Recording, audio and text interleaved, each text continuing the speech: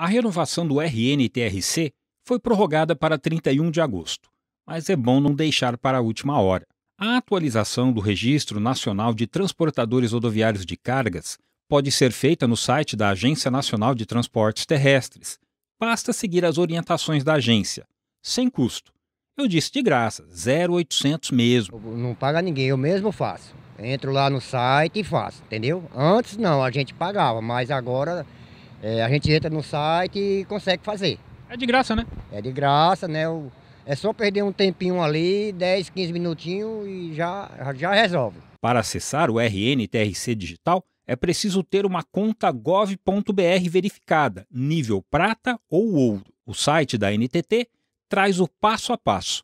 A primeira vez exige mais tempo para fazer o cadastro. Mas para quem não tem tempo ou falta habilidade com a tecnologia, pode contratar o serviço. Vou pagar.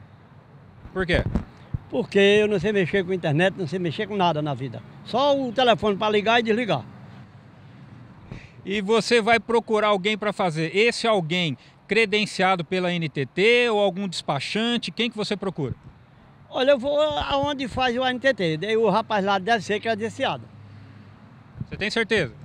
Ah, não, não tenho certeza, né? Porque por falar a verdade, eu não sei dele. Mas ele com certeza é credenciado, porque se não fosse, não faz. Faz sim. Só que vão procurar um posto credenciado pela NTT. Então, existe aí uma espécie de atravessador. E tudo bem, não tem problema. O serviço do despachante ele é legal, porque ele está oferecendo no mercado, procura quem quer. Tá? Mas necessariamente ele vai ter que levar esse, essa documentação para um posto de atendimento. Isso pode acarretar o quê?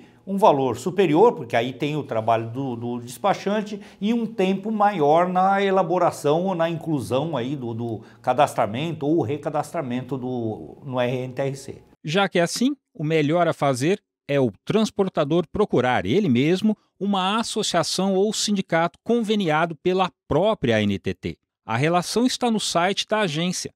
São dezenas de postos em diversas cidades do Brasil. Em São Paulo, por exemplo, tem o Sindicam, o Sindicato dos Transportadores Autônomos. Para fazer o serviço, estas entidades cobram uma taxa. O sindicato cobra em razão até da extinção da contribuição sindical.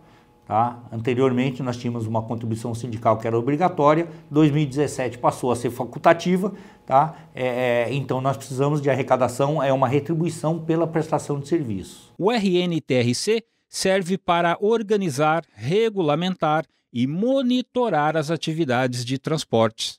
Antes era preciso manter o adesivo no caminhão, agora é digital. No Sindicam São Paulo, o primeiro cadastro custa 300 reais.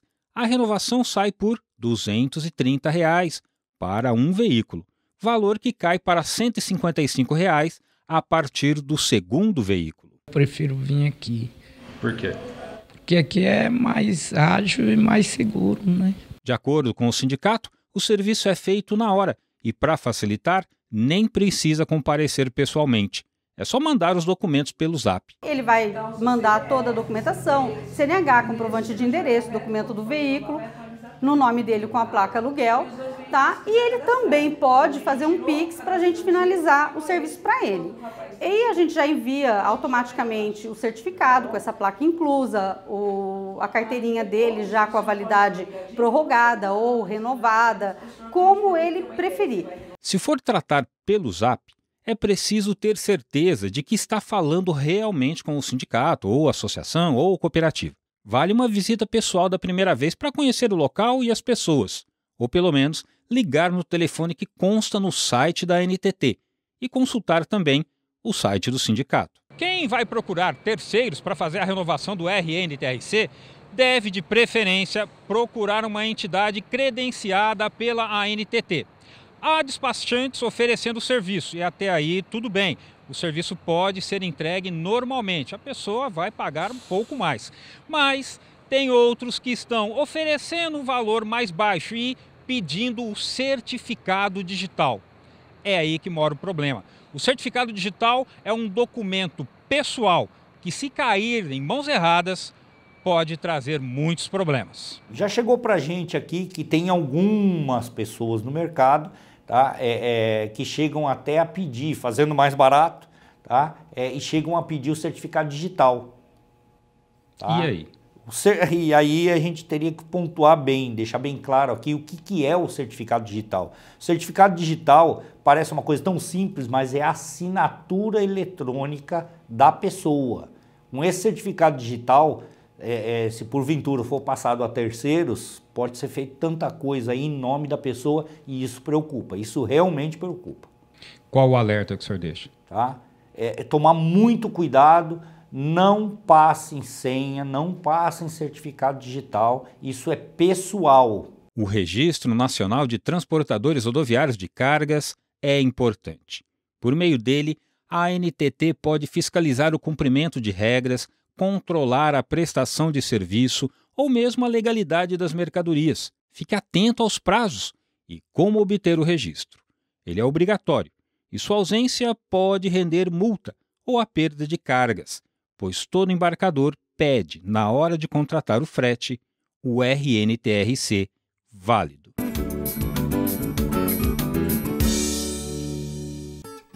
Tá aí.